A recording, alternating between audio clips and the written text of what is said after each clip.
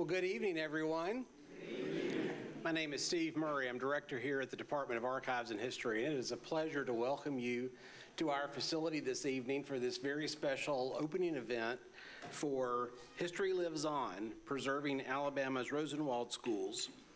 Uh, we, all of us here at the Archives are extraordinarily grateful for the opportunity to partner with Auburn University's College of Architecture, Design, and Construction in hosting this exhibition, which is the uh, one manifestation of a, of a large project to document the extraordinary story of the creation, operation, and sustenance and preservation of Alabama's Rosenwald schools, and the stories of the extraordinary Alabamians who uh, received educations there and have since uh, adapted some of those facilities for other uses, and importantly today are leading the effort to preserve these structures and the history that they offer to us about the history of education, the history of African American communities in Alabama, and serve as important beacons to us with important lessons for us to absorb today about the value of education, the importance of commitment of community to support education locally, and the extraordinary accomplishments of those who made the construction of the Rosenwald schools possible. I want to thank uh, the, the sponsors for our fantastic reception I know you enjoyed upstairs, Seay Seay and Litchfield Architects here in Montgomery, and also the sponsor of our panel discussion this evening, the Alabama Humanities Alliance. We're grateful for the support that they provided to make this evening possible. So the exhibit is open now and will run through May of 2024. We hope that you'll come back, bring your friends and neighbors and family to share with them the extraordinary stories that you saw upstairs on the second floor this evening.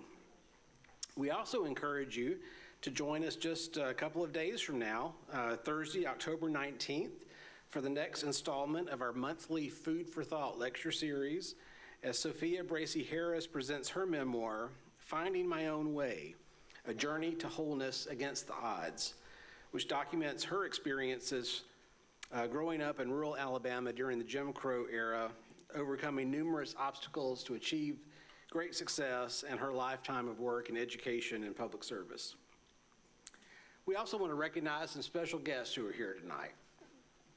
Those include alumni and those associated with schools that were a part of the uh, rural construction programs by Tuskegee Institute and the Rosenwald Fund. And we know we've got alumni and friends of three schools. And I know I had personal conversations with folks from even Tennessee and Georgia uh, who are here this evening with associations with Rosenwald schools in those states.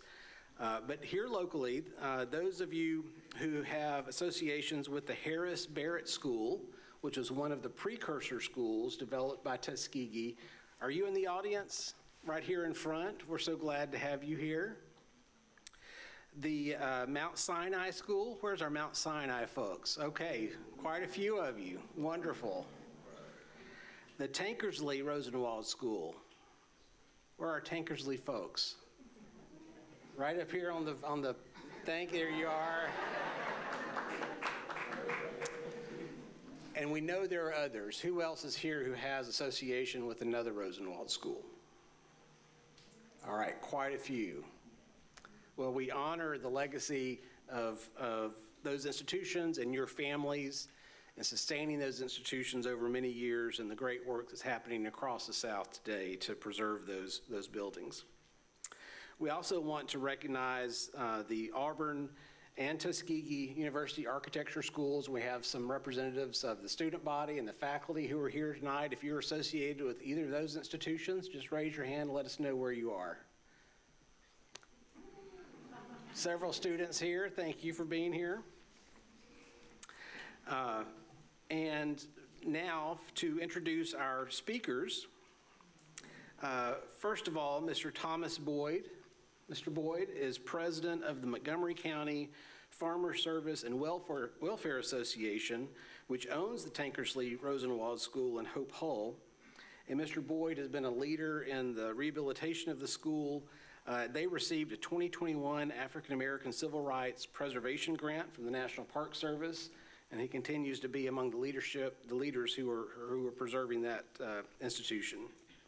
Gorham Bird is Assistant Professor of Architecture at Auburn University and a registered ar- architect.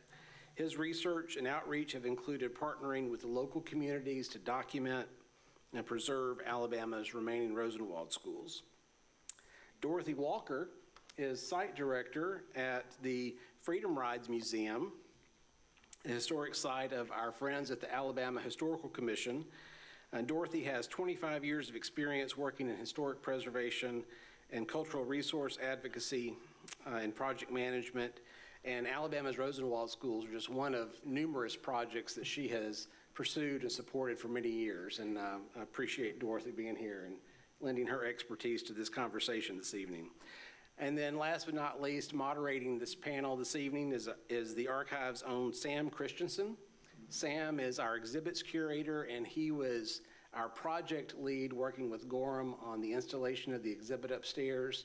Uh, Sam does great work and uh, is representative of the really terrific team of professionals we have here who are committed to collecting, preserving, and sharing the Alabama stories that belong to all of you.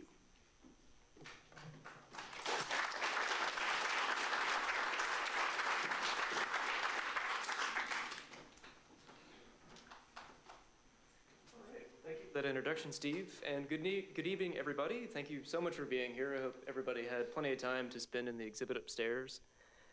So, our discussion tonight's really going to cover the present state of the extant Rosenwald schools in Alabama, the future, and uh, how and why these buildings have survived and how they're being preserved. So, let's start off with a little bit of context with, with Dorothy here. So, what is the history of the Rosenwald Fund, and what role did Alabama play in its creation? Good evening. Can you guys hear me okay? Okay. Because if you can't, I'm a good country girl. I can speak louder. um, so, the Rosenwald School Program story is a story that begins in Alabama. And I think sometimes, with it being a national story, I think its role and its genesis here in the state kind of gets lost. But the first name we always have to call when we start talking about Rosenwald schools is Booker T. Washington, right? Um, that Wizard of Tuskegee. And so um, in 1911, uh, uh, as Booker T. Washington did so often, he was on a speaking engagement um, going north, right, uh, to find funds for Tuskegee and the work that he was doing there. And he met Julius Rosenwald. And Rosenwald was so impressed with him. Um, he had recently read Up from Slavery, um, Washington's autobiography. And he was very impressed with the story of Washington and what he was trying to uh, accomplish and achieve at Tuskegee. Um, and so, of course, as Washington did, and he was so good at, um, he um, invited Wa- uh, Rosenwald down to Tuskegee um, to see what he was doing down there at, at the university and, and all he was trying to accomplish. So Rosenwald did. He took a party of folks down to Tuskegee and um, was very impressed with what um, Washington had done, um, what the community had done, what Tuskegee stood for, and what Tuskegee was building. And he obviously wanted to invest in that. So um, he sent Washington, um, Booker T. Washington, um, fund, funds to support what was happening at Tuskegee. And of course, Booker T. Washington, being the shrewd person that he was, um, he had he did what he um, had asked um, or had planned to do with some of that funding, but he had funds left over. So he wrote to uh, to Julius Rosenwald and said, you know, I, we have this program, the school building program. Now, as Sam mentioned earlier, or um, Steve mentioned earlier, um, Booker T. Washington uh, was building school buildings before he met Julius Rosenwald. So I want to make sure we all remember that. Um, yes. um, um, uh, Booker T. Washington, one of the things that he did um, soon after coming, and, and, i know I'm speaking to the choir here, you all know this story, but do, uh, Dr. Washington had gone on a, a tour of the South, and he understood that not everyone was going to be able to come to Tuskegee, and that there was a lack of facilities uh, for students, uh, for, for black students in the South. And so um, he had teamed up with um, an oil baron, H.H. Um, Rogers, um, to fund the construction of some schools uh, as a prototype before he met, before he and uh, Rosenwald teamed up, and he had built 46 schools. But Rogers died before they could really get that program off the ground. And so this was a program that was in progress and it was languishing and Washington needed funds. And so he used, and so um, Rosenwald gave him permission to use the remaining um, funds to, to build these schools. And so with those funds, um, Washington built um, or invested in with communities, of course, the community support, invested in building six Rosenwald school buildings. Um, and these schools, um, the first six, um, were in this region, three of which were in Montgomery County, actually. And um, he wrote to uh, Rosenwald about the success of this, of these school buildings, and of course, um, for those of you who, anybody here that doesn't know the history of Julius Rosenwald? Okay, good. uh, I like to tell people he was the uh, he was the uh, CEO of the Amazon of his day, right? Sears, you could buy everything from a casket to a house through Sears, and Rosenwald. Um, um, knew that you know this would also be good business, right, to get into school building because they could furnish the supplies. But um, what they were, he was very impressed, and um, of of course sent Washington more money um, to to get involved in investing in these schools. So they teamed up, and again, I want to make sure that Alabama's role here is emphasized. The first 100 of these 5,000 plus school buildings were built in Alabama, and um, it was a, it was a massive program and a massive success. Um, and of course, uh, Booker T. Washington passes away in 1915, and um, the Rosenwald Fund becomes a um, it, there, there's a transition from Tuskegee, um, and of course the um, architect at Tuskegee at that time, Robert R. Taylor. If you don't know that name, it is a name you definitely should know. Um, a the one of the first agreed black um, architect in the in the country, and um, he was had designed these schools. Well, the fund moved from Tuskegee to Tennessee, and under Samuel Smith, who was one of the premier building school builders at that time, and it really took on a much bigger uh, role at that point. Of course, it had spread to other states. By the time it ended in 1932, you had more than 5,000 school buildings in 15 southern states. Um, Alabama had 389 of these buildings, not all of them schools. Um, some were teacher homes, shop buildings, um, and of course, um, the, the, the state that had the most was North Carolina at over 800. So that's sort of the quick and dirty history of it. It's a great answer. Thanks.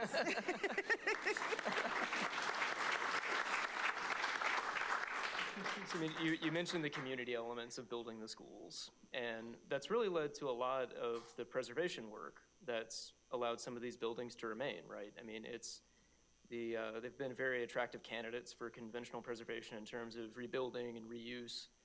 Uh, meanwhile, Auburn's College of Architecture, Design, and Construction is working to preserve the schools in a slightly different way. So, Gorham, what can you tell us about the, uh, the Realizing Rosenwald project, and how do you think that it fits into the broader efforts to preserve these buildings?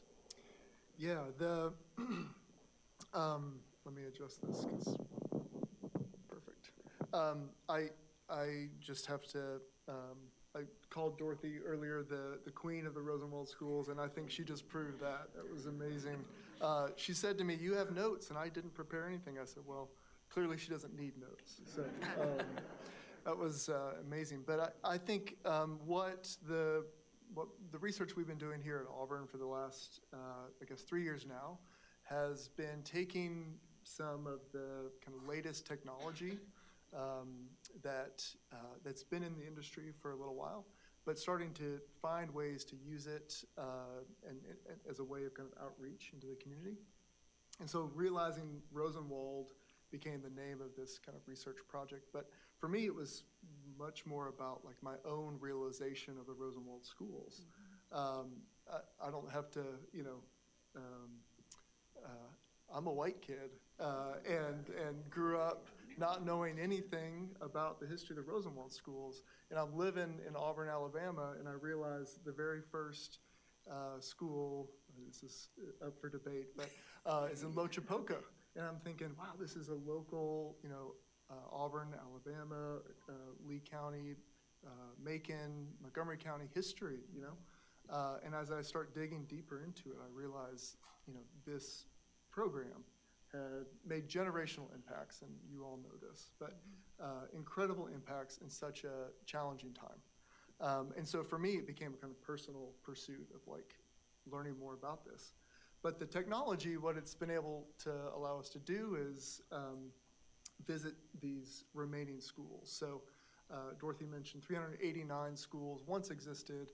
Uh, the best estimates are 10 to 12 percent remain, but I, I would argue even there's even less than that that remain in Alabama. We know of about 14 to 15. And so what our project has been doing is trying to, first of all, find out where these schools are. Um, so the kind of identification of the schools, but then um, what we do is go in and document the schools. So photograph them, use some uh, LiDAR technology and, and scanners to digitally document them. Um, what the really great thing about that is it documents these uh, schools with incredible precision. Uh, so if I want to know how, how bad the uh, Tankersley floor is sagging, I can go in there and measure uh, it sags four inches, right? It's incredible precision. But being able to use that technology uh, to then help uh, a group like the Tankersley School figure out then how to uh, preserve the school, because that's the next step. Um, a lot of the schools we've come into contact with, uh, New Hope is an example, Shiloh's an example, um, Harris Barrett's an example, schools that have been uh, maintained for, for generations. Um, but there are a handful that, that need, need intervention and need some, um, some work. And so me as an architect can, and my team at Auburn um, has been able to kind of provide some service to help um, figure out how to preserve the schools. Um, and so, uh, you know, partnering with the Tankersley uh, organization to apply for a grant from the National Park Service to allow them to get funding um, to preserve a school. It's been it's been kind of where we are currently, um, and it's you know who knows where it will end. I think we'll just keep going as long as we can. Outstanding. Yeah. Yeah. What first got you into uh, historic preservation?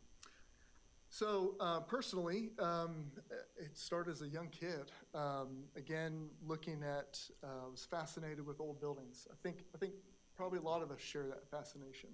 Uh, there's something about a building that existed before your own lifetime that uh, piques some interest in all of us. Um, and so I knew I wanted to be an architect. I just have always been interested in, in that. But um, what I have realized as an adult is that um, buildings hold stories. Um, and uh, stories get passed down from generation through oral history, from doing what we're doing now, from telling your kids and grandkids about your life experience. But buildings have a capacity to kind of hold history um, beyond what, what we can kind of say. There's something special about walking into a place that you know some event occurred uh, and being able to witness it yourself. It, it brings history to life. Um, and I think, I think we all need that as kind of humans to be able to kind of understand our, our place in time today. So, um, yeah, that, that keeps me going. Um, every time I see a new Rosenwald school, I have to tell a story. Uh, we're, we're one Christmas going to look for a Christmas tree uh, out in uh, rural Chambers County. And I've been doing this research a little bit, and um, we're heading to a tree farm, and all of a sudden I see County Road such and such, and I was like, oh, we have to turn. Uh, granted, granted, I have the whole family in the car, and we're supposed to go get a tree, and, and they're like, well, it's a dirt road, and, and they're like, what, where are we going? I was like, I'm pretty sure it's a Rosenwald School down here. We're going. and the next hour and a half, we're still on that same dirt road. Uh, that's my wife. Um, I think everyone thinks we're lost, uh, but sure enough, we ended up finding the New Hope School, uh, and I got in touch with George Barrow soon after that. So again, it's just this fascination, almost like a treasure hunt, uh, to find these schools and, and then meet the folks, hear the stories, uh, and, and help them to preserve them. Yeah. I guess one of the stories documented in Rosen, or Realizing Rosenwald, as well as History Lives On, is the story of the Tankersley School. Thomas, could you tell us the story of how the Tankersley School was founded? how the Tankersley School was founded. It was the year nineteen seventeen. A man named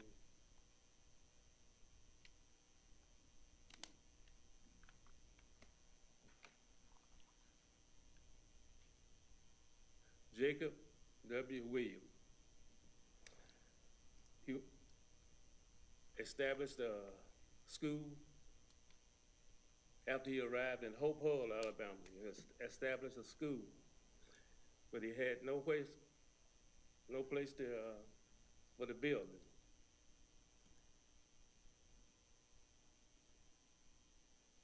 He conferred with the, uh, community leaders, and, uh, they let him use the Masonic Hall. After the Masonic Hall got crowded, they uh, decided they needed another building.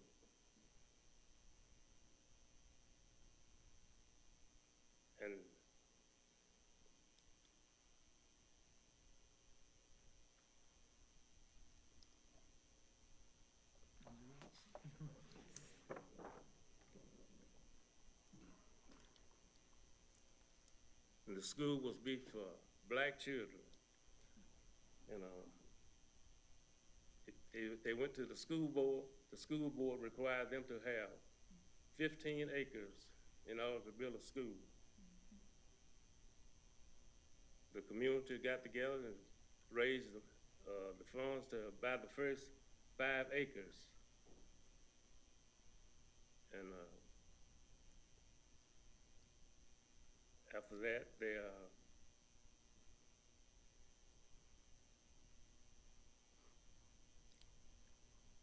my little nervous, bear with me. That's okay. That's all right. All good.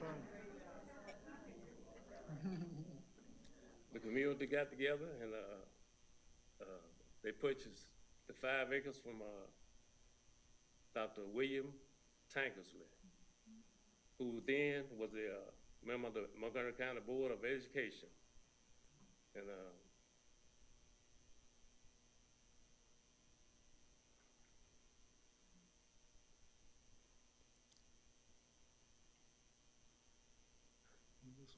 If I can jump in and say, help Mr. Boyd out a little bit, okay, um, I will say that, um, one of the things I neglected to say earlier, and the Tankersley project and Mr. Boyd's role has been so instrumental in saving that school. Um, you mean, I mean, when you talk about passion and sacrifice and commitment, um, it's, he, his, it's, it's overwhelming, his passion for that building. Um, but one of the things I neglected to say, and one of the things I found interesting about Tankersley, is that when these school, when they design these school buildings, a lot of times when people think about school buildings that were that old, older school buildings, wood frame buildings, a lot of times we like to say one-room schoolhouse, right? Um, and one of the interesting things about Rosenwald uh, plans was that they were not based on the number of rooms. They were based on the number of teachers. So if you, if you're looking, if you look at the files, and I found that very fascinating when I first started looking at Rosenwald School, because I was so used to hearing all my life too, one-room school building or one-room schoolhouse, but they were based on the number of teachers. And so you had, so because you might have a building, a Rosenwald School that was one room, but you had, you might have three teachers or four teachers or six teachers because they had partition walls. The interesting thing about the Rosenwald plan is that it was always meant to be a flexible space to, to, to have more in less, right? To take, to use what you have, but to expand it. So you might have first through third grade in one room and then fourth through sixth in another room, right, Mr. Boyd? right, And so, but you also would have, um, you would also have a stage. right. And, yes, like Tankersley had. right, Um, but also, um, they had things like, uh, cloakrooms, um, and the windows. If you visit Tankersley or any of these Rosenwald schools, the windows are what really draw you in, right? Because of the natural lighting. And one of the things that um, um, uh, Robert Taylor did when he was building, when he was designing these school buildings, is also consult with who else at Tuskegee? George Washington Carver, about um, the, uh, how, how hygienic, how to keep this, because these, a lot of these weren't gonna have electricity in the beginning. Um, so how do you keep the hygiene? How do you keep, how do you maximize lighting? All of that, it was, it was cutting edge technology for its day. Um, and so I think that's also part of what, that, a- that attracts a lot of folks to Rosenwald schools is that they were so well built and, and so well, um, and the communities, one of the things that really struck me about the Rosenwald School history when I first learned about it was that, and, and Rosenwald and Washington came to this conclusion together, that it was not, it was always going to be a matching grant program, right? Like Mr. Boyd said, the community had to give up the, had to provide the land. The, com- the community had to build, had to provide the labor to build the building. The community had to provide the maintenance on the building. All of that was the community. So it, it might have said on paper that the community gave one-third, but in reality, the community gave way more than that. The the, the buildings became an integral part of the community because of what they sacrificed. Um, so when you see the statistics in the Rosenwald files that the school board gave this amount, or the white community gave this amount, and the Rosenwald Fund gave this amount, the amount that the Rosenwald Fund gave, and this was by design, was very small cons- con- um, in comparison to what the community gave. Uh, because even after the buildings are built, the community still had to maintain them. Um, there are stories that, like Gorham said, that draw you in, and I'm sure Mr. Boyd has some, um, of people um, having to take the coal to the school so that the, the students had a way to keep warm in the winter, or to come out and fix, repair the schools when there was damage. All of these things that, how do you put a price to that, right? It's priceless. And I think that's the part that, that really gets to us when we're talking about schools and communities like the one, like Tankersley.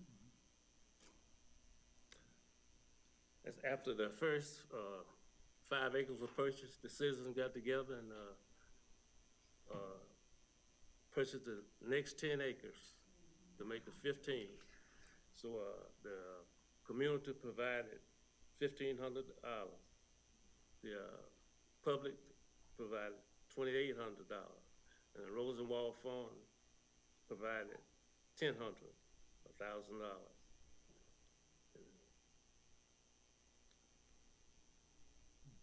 But those stories, the stories of the people and the resilience, right, of communities.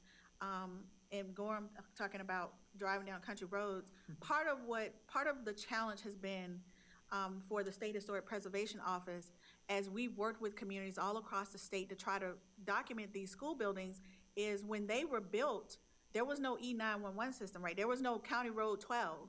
They were, they were built out next to the Shiloh School, uh, church, or they were built, you know, next to, um, the, the, the community center, or whatever. They were, they were built out in the middle of fields. So trying to locate these school buildings, um, has been a challenge, but it's also, it's been, been rewarding to work with communities who care enough, who have cared enough over the generations to try to preserve those stories, even when the building's no longer there. Um, and that's, as long as we continue to tell the story of these school buildings, they will always be with us.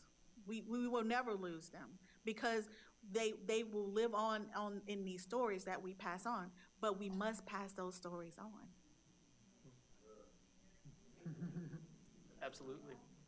And I mean, thinking about some of the statistics you were talking about earlier, where there's 5,000 schools built in 20-ish years across 15 states, what, what do you think made the program as successful as it was? I think it was the communities who really were committed to providing quality education for their, for their young people. Um, I, I, when we think about the success of Rosenwald uh, schools, and I want to say also, I want to interject that a lot of people say, well, why are they called Rosenwald schools? Because Rosenwald objected to these school buildings having his name on, on them. Um, which says a lot about him as a philanthropist, right? That he was giving as much as he was, but he did not want shrines to him. And I know that there are some folks here from Tennessee who actually have Rosenwald in the name of their building. But most of these were called the Shiloh School or the Mount Zion School or the, or the Hope, Hol- the Hope uh, Community School. They, they were not named for Rosenwald. And I think the, the balance that Booker T. Washington and, and Ju- Julius Rosenwald tried to, tried to garner with these buildings, that they would be community buildings, that they would not be all these shrines to Booker T. Washington or Rosenwald, that the community would be owners, they would be, they would take ownership of these buildings and would have buy-in. I think that's what made the program so successful, is because the communities, they built the buildings, they maintained the buildings, and they, they looked after these schools. The stories you hear of people, um, the sacrificing everything, putting up their land to, to help, um, to, to help purchase property for the school or help purchase materials for the school. I mean, that, the sacrifices, I think, is what led to the success of the schools. Now, the same thing I think that led to the success of these school buildings eventually also lead to um, the challenges that the school face because many communities outgrow these buildings. Um, and the next generation of school buildings start to be constructed in these, uh, of course, more substantial buildings, brick buildings that replace these schools. And you have that um, diversion of resources to these other school buildings, by the way, called equalization schools. Um, and so um, you have that, you have these, re- these schools starting to take over. But I think the success was the community, that the, the sacrifice and the commitment that they made to these schools. Yeah, absolutely. So, I mean, we talked about earlier, you know, only 10 to 12 percent of these schools remain, possibly less in Alabama. I guess really for all of you, what do you think goes into a successful Rosenwald preservation project? I mean, wh- why do you think those 10 percent of schools have remained when others haven't? Yeah, I mean, the first thing is like, I think you have to stop and think for a second. Um, a lot of the schools are at least hundred years old, right? And think about a building you know that's built out of wood. That's hundred years old, there's not many. So I think to kind of Dorothy's point earlier, that speaks to the, how well they were built, right? Not only how well they were built, how well they were designed, they were designed to last. Um, and so I think what we have found in terms of um, the, the types of issues that pop up in an old building that are the ones that will destroy it is the roof. Honestly, if you can keep the water out of the building, it's going to last a whole lot longer. And so um, we're, we're working with Tankersley now, and, and there was a slow leak in the roof. And after a few years, that leak got bigger and uh, then developed a hole in the roof. And then that hole in the roof then led to a hole in the floor, right? And it just, if you can keep, keep the building dry, it's going to last a lot longer. And uh, the National um, Trust for Historic Preservation, uh, as well as the National Park Service, has a bunch of, for, this is for kind of organizations out there, uh, tips and recommendations on what's called mothballing a building which is uh, getting it as dry as you can, covering, protecting windows. Like if you're in a state where you can't invest a bunch of money, you can mothball the building uh, and, and help to sustain it for a longer period of time. Very nice. And Thomas, you look like you're about to say something. I want to get back to the, uh, Tankersley Rosenwald School. In nineteen twenty-two, it was completed and served the community until, uh, nineteen sixty-seven, when integration, uh, set in. Board of Education closed it. Long lived. What are your organization's plans for the school? The organization's plans for the school is to make a community center out of it and, uh, maybe have, uh, tutoring for students, young students, and, uh, if, if possible. Sure, Yeah. yeah. That sounds great.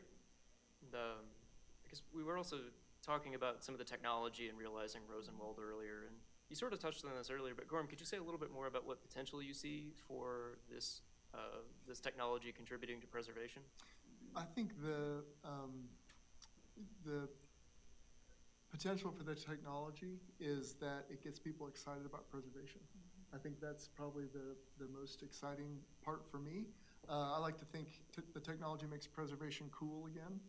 Uh, I've always thought preservation is really cool, but, um, uh, but I think what, um, going back to kind of Dorothy's comment about passing on the stories for generations, uh, I think uh, a lot of folks need to think about how your your story gets passed on, right? Um, and how do you how do we start to uh, include younger generations in in this story? Uh, and I think technology, in my mind, technology is the way to do it. Um, you know, not not only because younger generations are you know, more facile with technology, but um, so I would, I would encourage all of you to talk to your children, talk to your grandchildren about, uh, about your experience. Um, and, and let that kind of knowledge get transferred across generations because the, you know, the technology is gonna, you know, uh, fade and, and change and do something else in ten years, right? But, um, uh, but those stories have to just kind of continue to be, um, in, in our minds or, or, or they're lost. Um, and so, you know, I think that's the kind of exciting thing is to see how can we get young people involved. And, um, you know, um, what the, the one challenge is uh, with the technology is it's can be expensive, some of it. Um, but, uh, you know, some of us have uh, an iPhone. Uh, and so the same technology that um, is in some of the higher end um, technology we use is in an iPhone. Um, and so you can actually begin to do some scanning with a phone. Um, maybe some of us need to ask our grandkids about that, but um, I'm telling you, it's, it's, it's wild. But uh, to me, that's, that's the key, is that intergen, intergenerational uh, kind of work um, to, to continue these stories. Because the, the next generation is going to have to preserve these buildings. And, um, and uh, it's something we all need to be thinking about. In, in terms of passing that torch, kind of rounding out to our final question, and this is addressed to all of you ultimately, but uh, we'll start with Dorothy. So, what do you think to you is the significance of historic preservation, and, and why should people be concerned about it? Historic preservation is one of those things that will live on beyond us. I mean, as much as we think that we're going to live forever, that is not the case. One day, this room will be full of people, and it won't be us. And when we preserve places like Tankersley and um, the work that um, Gorham and his students are doing, those places can live on. That that history can live live on past us, but it requires us to be proactive, right? In both, sometimes in, uh, even when the place is no longer there, the stories can still be told. Historical markers can be erected. Um, I, you know, we, I think part of what the challenges, and I've been working in preservation for a couple of decades now. And part of, I think, the, the challenge about preservation is we want people to come to preservation as preservationists. I think we need to meet people where they are. Um, I personally found out about Rosenwald Schools when I came to work for the State Historic Preservation Office um, some years back. I won't say how many, but um, but for all I went to school. The reason I had an education, the reason my mother and all of her siblings had an education, is because of Booker T. Washington and Julius Rosenwald. My school started as a Rosenwald school, and to me, the unfortunate thing was that had I not taken the job that I have, that I have, I might not have ever known that story. And we allow our children and our grandchildren to go to the same schools. Now, they are not necessarily the same buildings, but they started out in a lot of cases as Rosenwald schools, and then they became equalization schools. Um, we allow them to go through these school buildings, and we don't tell them the stories, particularly when they've got the name of someone on the building, right? Who is this person? Why do we do that? Why do we allow our, gener- our the, the, the next generations to go through school buildings not even knowing who that building is named for? And it's one thing to put up a plaque or an exhibit, but it's the stories. It's Mr. Boyd and all these other folks who are trying so hard to preserve these buildings. It's, it's, like Gorham said, It's just sitting down with these phones or whatever, a, a camera, and just recording those stories. Because that is what is going to have lasting impact. Of course, we want to make sure the building and the places are saved and preserved, but if they're not, the stories need to be. And it's on us, when we get to talking about, and I'm, I am so guilty of it, the young people don't know, right? That's what we say. They don't care. That's on us, because we haven't taught them to care. And the technology is so exciting, it's an exciting way to engage them, but just sitting down and saying to them, because a lot of these school buildings, like Mr. Boyd said, got closed because of integration. How many of our young people know that story? So I think preservation can be a conduit for, for these stories, but also it is on the people, on us as individuals who know this history, who care about these places, to also be the conduit and to pass those stories along. That's what preservation is. It doesn't mean you are a preservationist. It means you care about history and that history is told from the, from the vantage point of an authentic place. It's all about facilitating those connections. Yes.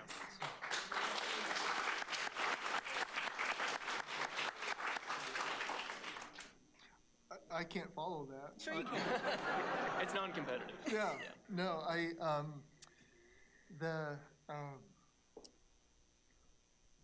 you know, I, I can't help but think about the, the time we're in today where facts don't seem to always mean the same thing. Um, and I still don't understand that. Um, but there's something about hearing someone's story you, you can't take that away from them. You know, there's something about visiting a place where an event happened, where generations of kids learned to read and write, that you can't, you can't argue with, right? Um, yeah, we can argue about why and how and when and, you know, all the, all the mess that gets involved, but you can't deny when something's been preserved, when a story's been told and passed on, you can't deny that. And I think that, to me, is um, why it's so critical that we, we preserve and, um, and make, make bold statements about this happened here, right? And uh, because in a hundred years, who knows that, that those facts might be up for debate. And if there's a record of them, it, uh, it, it makes that uh, kind of argument much more difficult. But um, I think, uh, yeah, for me, preservation just allows, it, it, it's hard because you're always trying to um, kind of think forward, right? Um, about the, those stories and how they get uh, passed on and told. But, um, you know, it, it takes, preservation takes what you read in a history book and makes it real. And, um, I, you know, I think that's why we gotta, we gotta keep doing it. And it gives us a fuller and richer story of the struggles that people have gone through in the past, right? And, and makes them real. And I think that's the most important thing. Pre- Preservation is uh, critical in our day and time. It's something to tell our kids. They wouldn't even understand what we had to go through with it. And to preserve it is of vital importance. It's outstanding. At, at this time, we'd like to uh, invite any questions y'all have from the audience. We do ask that uh, do wait for a, a staff member to bring you a microphone because we are recording this on YouTube and uh, it- it'll help the people listening to it.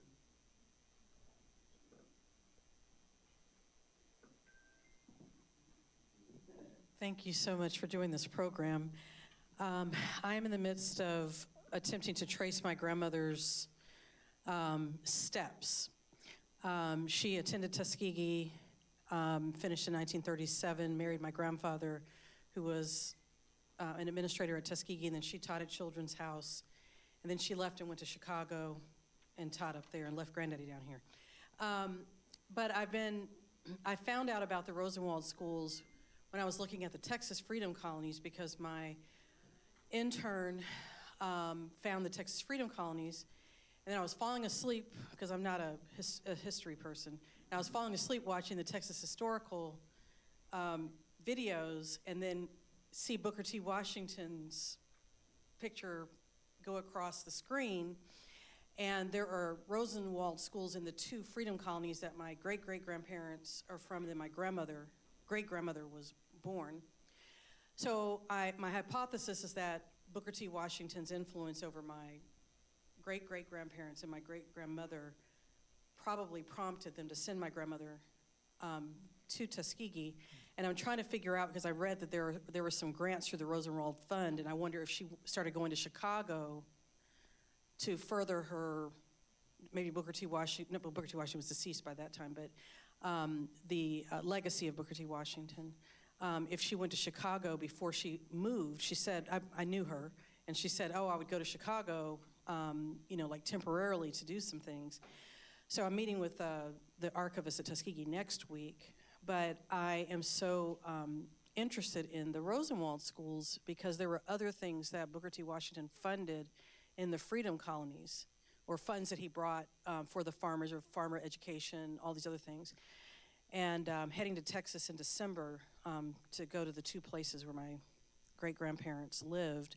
And they were founders of one of the churches. And I was always told that the family gave land for education. And I'm, you know, I'm 55 now, and it didn't really interest me until two months ago. Um, so it's like, yeah, yeah, yeah, whatever. Um, so I'm really excited. Uh, and then my, my mom's family attended uh, Parker High School in Birmingham, which is the industrial high school, which also had a Booker T. Washington. My, my, my parent, my mother and my grandparents uh, both attended those schools. And so I really appreciate um, what you're doing. And, and one of my, my one question, and I'll follow up later and not take up any more time, but is how do people find out about the listing of the Rosenwald schools um, across the country? And I've been in touch with the Freedom Colony person at UVA, University of Virginia, um, Andrea. Uh, I can't remember her last name, but she was at Texas A&M, Texas A&M, and now she's at University of Virginia. And so I've been in touch with her about the Freedom Colonies, but not about the Rosenwald schools in particular. So I'm looking for some guidance um, to learn more about the Rosenwald schools. Well, I'll start off by talking about if you, if you're, I'm going to answer your question, but I want to doc, want to give the opportunity to say, if you're looking to document the history, if you want to pull the history of Rosenwald schools into your school's history, um, this is the book that I recommend that everybody get. Um, it's called The Rosenwald Schools of the American South by Mary, uh, Dr. Mary Hoffschwelle. Um, and it will give you the, the context and the history for Rosenwald schools. Um, so if you haven't, and if you're, if you attended a school or you care about a school, this is the book to start with, because it will give you the history of how all of this got started. Um, there are, you're, you're doing certainly the right thing of starting with Tuskegee, because there are a lot of files at Tuskegee. Uh, but there, the Rosenwald Fund, as I mentioned earlier, moved to Tennessee um, and went to Fisk University. And so there's tons of files at Fisk. Now, for a while, those files were online on a database. Um, that database um, hasn't been active for a few years, or for a while, and that may have been a, be a COVID thing. But um, that is, Fisk University has a wealth of information on the Rosenwald School files. Not all of it is going to have genealogical uh, information. So then you, we're sitting in a place for those people in Alabama where you would want to come and do the research here at the State Archives. Um, is a great place to kind of talk, when you're talking about land, um, ownership records, uh, census records, um, death, all of that kind of stuff. And one of the interesting things about, that I've learned over the years of looking at Rosenwald School is that you find information about Rosenwald schools in the most interesting places. And again, we say Rosenwald schools, but if it's the New Hope School or it's the Tankersley School, that's what you need to search on. Because if you start your search off with Rosenwald schools, in terms of trying to document your school, you may not, you may run into a roadblock. So I would certainly start with the name of the school. And if you don't have the name of the school, start with the community. If you don't have the name of the community, start with the county. I mean, it, there's ways to back it up, but when you start with Rosenwald, sometimes that won't lead you where you need to go.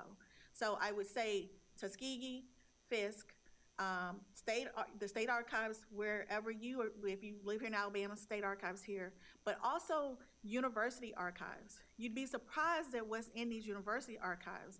Alabama State University, um, all of the HBCU universities, and Auburn University, um, and uh, the archives there, your local library. Um, there is so much information on these school buildings. Um, one of the things I invest in personally is a subscription to newspapers.com because they, you can get, um, archives of old newspapers. And it's, it's not a cheap subscription, but it's worth it to be able to go back and, because even though it might have been a tiny little thing in a newspaper that mentioned the Negro school was built, it's, at least you can trace it back to something. Um, so there are all, there are multiple ways to, to do this research, but I think, you know, but the last thing I want to say is, I cannot overestimate or overemphasize how important it is for us to trace our own family's histories to these buildings. Because if we know our family genealogy, my mother and all her siblings attended my school. And so um, I didn't have a picture of the Rosenwald building for, for years. I had done this work for like 20 years before I ever saw a picture of the Rosenwald building that was on, that my school started as. And that's because a principal, right before he passed away, said, I have a yearbook from 1952. Would you like to have it? And I said, sure. And, but he didn't know that in there was a picture of the Rosenwald building. And so yearbooks, all of that kind of stuff has information that I think also can help in your search for, for that kind of stuff as well. Yeah, the only, the only update from what Dorothy said is Fisk is, there's been the online database and they're, they're redoing it. Um, so it should, it should open, I don't know the timeline on it, but the, uh, if you go to, um, rosenwald.fisk.edu, uh, that's the database and it's under construction. Um, I But you was- can call. But you can call, yes, and, and they, they, they are a wonderful staff and will help you. Um, they'll even get photos for you of schools that they may have.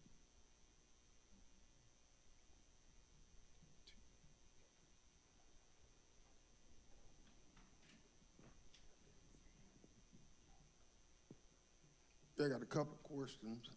First, what was the name of that book that you was talking about in the author? And I'll have it up here afterwards, so if you want to come up and, it's called The Rosenwald Schools of the American South by Dr. uh, Mary Hoffschwelle. Okay, all right. Now, for the Historical Preservation Society or whatever, when it talks about repairing these schools like a hole in the roof, uh, doesn't have any, any restrictions as to how much the exterior or the, the interior preservation has to be maintained in order to, to get a fund to finish the project? Is there any restriction or prohibition on that?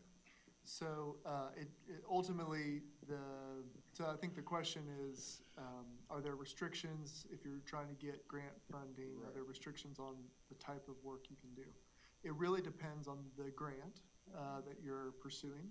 Um, What the National Park Service uh, grants require is that you follow a set of standards referred to as the, it's a mouthful, but the Secretary of the Interior's standards for either rehabilitation or restoration. So within that, there are, uh, you know, kind of 10 to 15 bullet points you, you try to follow. Um, But ultimately, it's going to be determined by that kind of grant organization. So since we have a, a federal grant with the National Park Service, we have to follow those restrictions. The state may have, um, you know, I, I know, um, there's the uh, Preserve Architecturally Significant Sites Grant that Alabama uh, just rolled out this year um, through the Alabama Historic Commission. Uh, Just want to make sure I'm not saying that wrong. Um, And that, those would be state dollars that would help support um, the, the preservation project. Uh, We're, we're working with the Midway School, uh, uh, sorry, the Merritt School down in Midway. They received, uh, yeah, a PASS grant this year uh, to, to work on the, the Midway School. So um, I, I'd be happy to answer more, more specific questions afterwards, if, but it's important you look at the requirements of the grant dollars. And the National Trust for Historic Preservation also has grant funds available um, part of what you want to want to do if you're looking for funding for a project, uh, you want to start with the, your state historic preservation office. And in this case, it's the Alabama Historical Commission, our office. Um, and talk with somebody about the building, whether it is, you know, how much of the original building is still there. Or if there have been changes, it doesn't mean that it cannot be, um, you can't, you won't get a grant for it. It's just a matter of starting with someone who is knowledgeable about historic buildings and getting them to assess the building. Um, and, and, and it goes back to, again, just because the building isn't a Rosenwald school, Harris Bears people will tell you, um, doesn't mean it's not significant, right? And again, equalization schools, these were schools built, school buildings or school campuses built from the nineteen forties, late nineteen forties, up until the late nineteen sixties. These buildings, these brick buildings, long, flat buildings with a flat roof, with steel windows, um, concrete walk, uh, uh, concrete walkways that are covered, uh, with hallways lining the inside, uh, with concrete block. Those buildings are super significant into the history of education in the South. And just because the- your building is not a Rosenwald School building, doesn't mean it's not a significant building. So the Historical Commission is interested in helping to preserve and document all historic buildings. Um, so, but we want to make sure that if it is a Rosenwald School building, we help you preserve those things that make it characteristically, the, the windows and all those, those features that make it characteristically a Rosenwald School.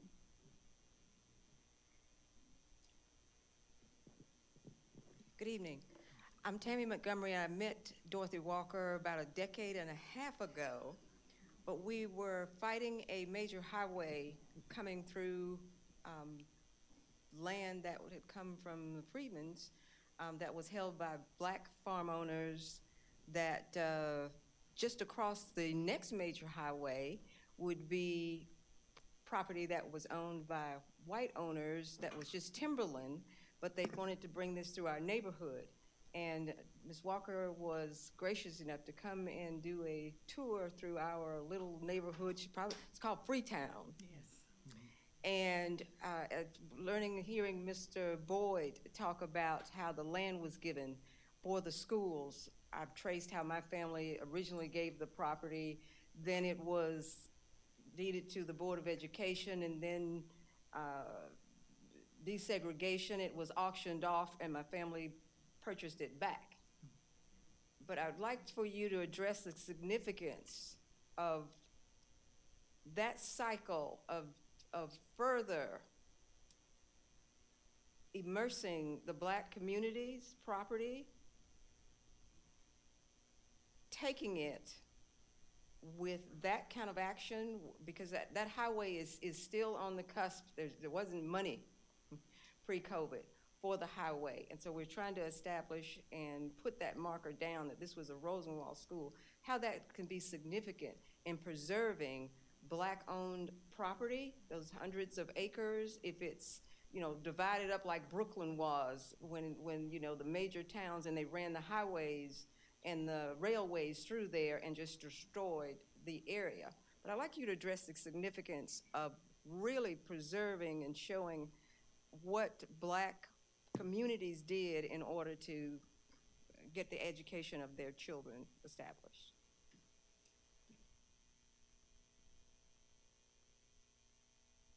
Yes. That's a lot.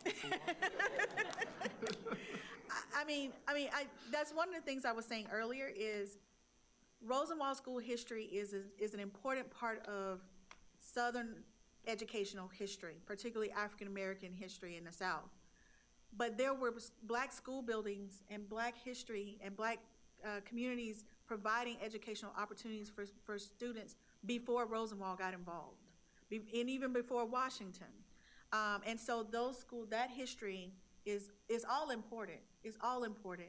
And so that's why I, t- I, I want to emphasize tonight that as much as you, you got, we all care about Rosenwald schools, but I, I want us to also care about the schools that were not Rosenwald schools, or the schools that came before, or the school buildings that came after.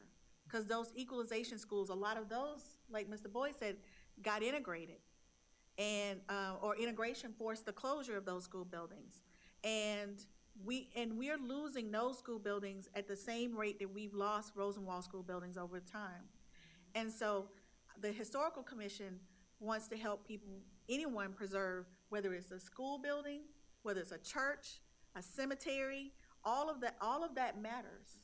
And that's what we're about. But the technology that they're doing, that they're using to do this now, if the buildings are gone, if the, if they're, if, and we hope they're not, but if they are, the technology can be used to actually create or recreate, particularly for young people, what was there. It's interesting technology, and you're talking about grants, that's one of the things grant funders want to fund is being able to integrate the technology with these historic places. Well, and I've had uh, a couple folks uh, reach out to me in communities where the Rosenwald School no longer exists and interested in kind of reconstructing it uh, as a, as a physical thing.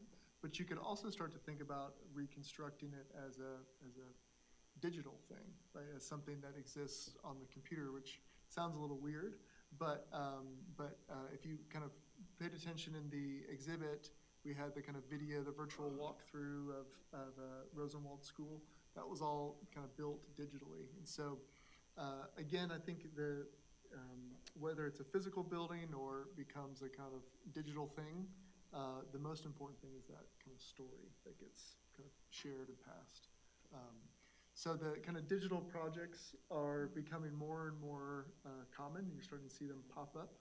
Um, but uh, I, th- I think they, they have a, a, place at the table as well. And to, to your point uh, about the community, Mr. Boyd, I remember when I first came to Tankersley, it wasn't the, the building, I knew the, I knew the history of the building when I got there. But what, what engaged me, what made me, what made me want to do something to help preserve this building was, were people like Mr. Boyd, who talked to me about this history and what it meant to communities. Will you speak about that a little bit, sir? Uh, What it, what it means to me is, uh, I'm a product of an, uh, Rosenwald school. And without a Rosenwald school, I wouldn't have had any education, cause, uh, my parents couldn't drive me to Montgomery for an education. And what does it mean to the community to preserve that building? Uh, It means uh, a lot to them, that we can uh, tell the children about it. And uh, show that we are trying to preserve. And uh, And how far we've come? we've come a long way. With Mr. Andrew, Br- Robert Jones and Andrew Bryant bought this uh, property from the Board of Education. But the tank of the school sits right now, and uh, with uh, we were trying to restore it ourselves, but our funds ran out, and uh, Auburn University stepped in, and uh, I think we're on the move right now. It's good to hear. We are actually at time.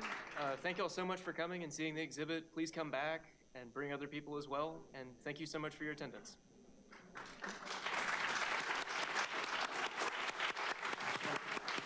Before everyone leaves, um, Oh. if you are at all associated with a uh, Rosenwald school, if you could please gather in the main lobby, um, just the one right here on the first floor. We'd like to take your picture. Uh, so please, if you are associated with a Rosenwald school, please meet there. Oh, what's one thing?